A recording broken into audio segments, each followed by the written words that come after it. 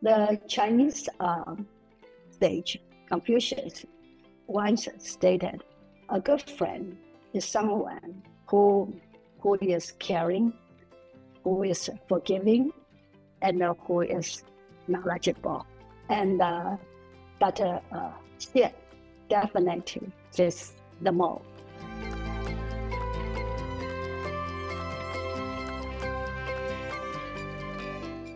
So when I hired hired her, it was right after I had taken the job at Miles in Indiana, and I started looking around at the staff that I had there, and I said I definitely need some more heavy duty horsepower in analytical chemistry, and and I you know I hired her, and it really worked out well because her science was bulletproof.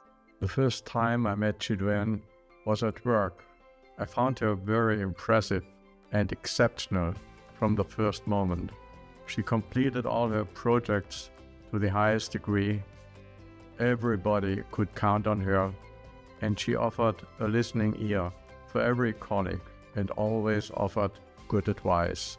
She was a great team player and a wonderful team leader, guiding her team to the best performance.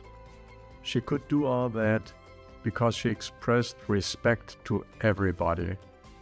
She always has a smile and so much love.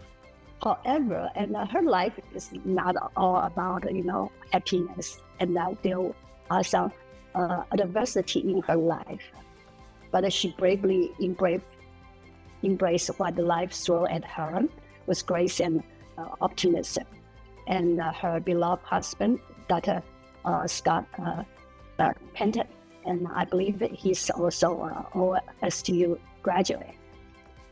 And uh, he died in a car accident in fall of 1985, leaving her with a three-year-old son.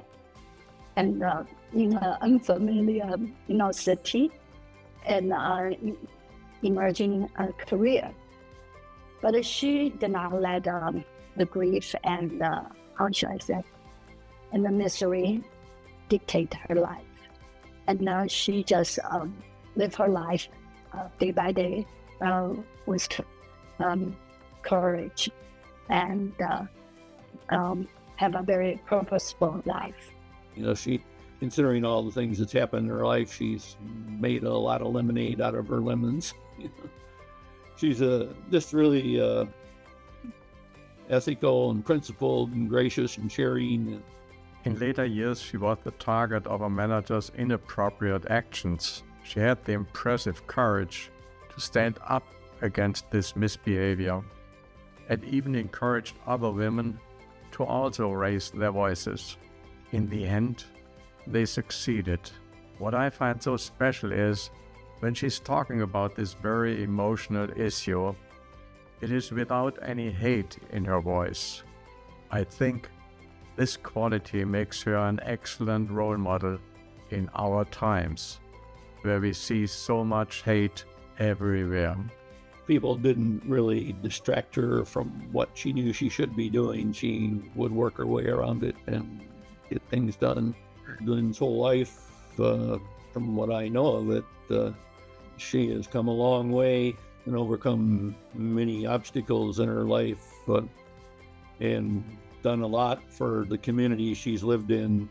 Been always great that her friends supported family, supported my family.